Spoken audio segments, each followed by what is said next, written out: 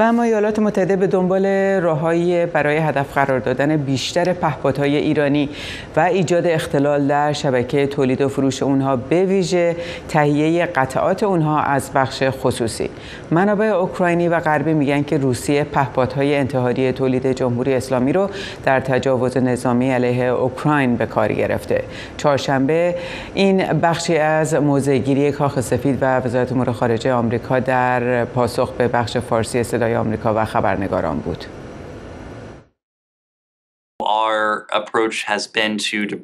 روی کرده ما این بوده است که روسیه را به طور سیستماتیک از منابعی که برای ادامه جنگ تجاوزکارانه وحشیانه خود علیه مردم اوکراین به آن نیاز دارد محروم کنیم و بنابراین گزارش های مبنی بر اینکه ایران توانسته است قطعات مورد نیاز خود را از کشورهای غربی و احتمالا حتی از جمله ایالات متحده به دست آورد. این مسئله است که ما به دقت آن را تحت بررسی داریم. و با بخش خصوصی در حال گفتگو هستیم. مسائل امنیتی در زنجیره تأمین مسئله است که در چنین مواردی بسیار مهم است. ما می‌خواهیم مطمئن شویم که فروشندگان می‌دانند محصولاتشان به کجا می رود. می‌خواهیم مطمئن شویم که بخش خصوصی اطلاعات مناسب و مرتبط را از ما دریافت می کند و اگر گام های دیگری از جمله محدودیت های صادراتی بیشتر باشد مورد نیاز است ما آن را تحت بررسی قرار دهیم.